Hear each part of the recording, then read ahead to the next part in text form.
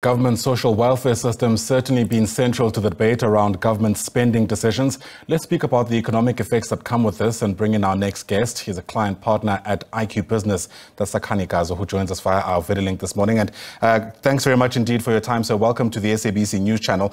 Perhaps let me just get your broad stroke take on whether or not you reckon enough focus has been provided on these social welfare systems, including perhaps the SRD grant. Yeah, well, thank you, and morning to, to, to your viewers. I think just the decision to end the social relief of distress grant in South Africa is a very, very complex one. Um, it's influenced by several interlocking economic and fiscal factors, and the grant itself was initially introduced as a temporary measure in response to the COVID 19 pandemic, which provided crucial support to individuals and families who found themselves without income due to the economic shutdown.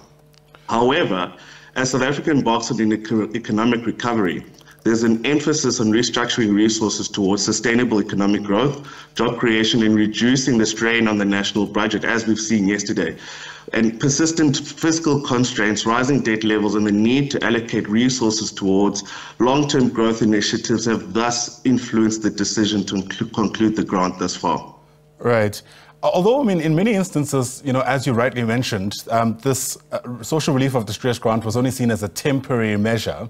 If we're thinking about a more sustainable way of shielding people from economic hardships, for lack of a better term, there needs to be those structural reforms we've always spoken about, ways through which jobs can be created so that people can earn their own money and in that way contribute to the growth of the economy.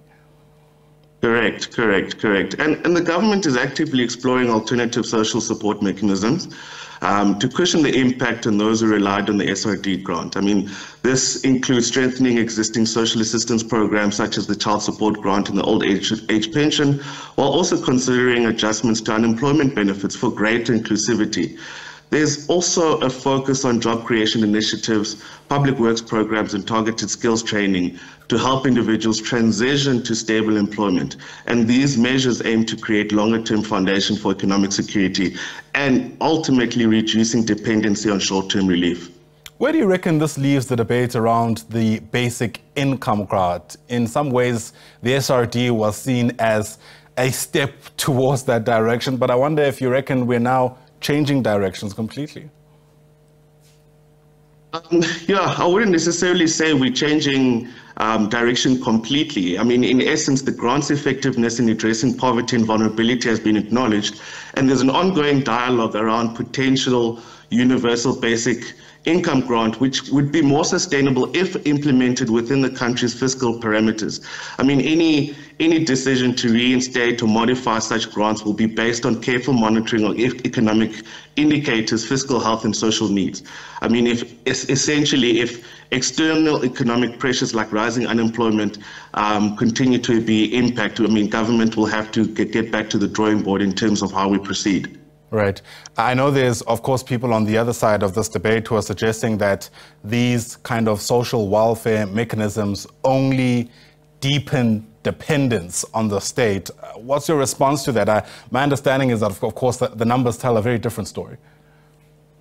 Yeah, I think ultimately, as a strategy, and I mean, as, as government's outlook, we try to to move away from from social dependency, and particularly with the SRD grant, because it was implemented as a short-term relief. There are other mechanisms that government are re-looking at to try address those who might find themselves in a position where they're not able to access that grant and now can actually, you know, um, find other alternatives in order to to to actually um, ensure long long term sustainability, um, as opposed to short term relief grants, as per the SRD grant was aligned to do.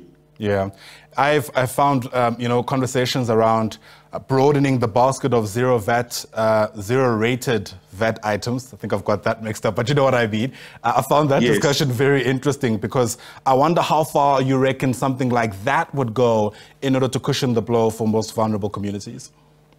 Yeah, definitely it would cushion the blow. I mean, if you look at the basket of goods, I mean, you're looking at things like bread, which are quite essential to to the lower income end of our economy. And I mean, the position we find ourselves in, I mean, we've got high high unemployment at this stage, which you know is something that we need to relook at to try you know boost you know economic recovery. But you know extending that from the border basket and actually having you know zero-based you know taxes on things like that um, would go a long way in terms of stretching the the, the disposable income for, for, for our, our broader citizens. Yeah. Who decides, though, what items ultimately make it into this broader basket. I wonder what kind of considerations you reckon should be made insofar as that's concerned. Yeah, in terms of the decision itself, I mean, of course, that would fall within, you know, uh, you know, Reserve Bank, um, you know, who have to sort of also have targeted inflation, um, you know, and also things like that that have to understand the mechanisms and the levers that would sort of drive the economic growth. But in terms of my suggestions, I think, um, you know, I agree in the decision in terms of, you know, trying to broaden that basket because um, if you know, we find ourselves in a position where fuel um, is increasing. Um, we're finding food costs, you know, being unattainable for the general man on the street. Um, you know, we find them in a position where now we have to combat things like hunger. Um, you know, which is of course a, a, a, another huge challenge that we're already currently facing. Yeah, I often hear economists speaking about the multiplier effect, this idea that if people have money to spend, hopefully they do spend it, and that in some ways drives economic growth by increasing GDP, et cetera, et cetera.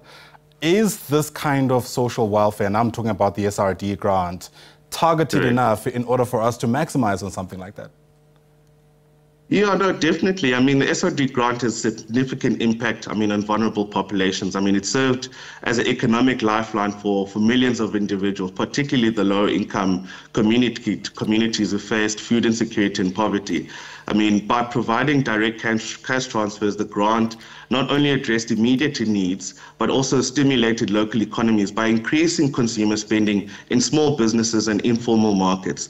I mean, in many cases, the SRD grant helped individuals stabilize financially, but temporarily, which was crucial for maintaining social stability amid the pandemic induced economic challenges. Absolutely. And one wonders what will make of that social stability if this kind of relief were to be ended indefinitely. But I suppose we'll have to wait and see. Uh, Sakhane Gazo, great speaking to you. Thanks so much for your time and your insights. Thank Sakhane you so much. is a, a client partner with IQbusiness. Once again, thanks very much indeed.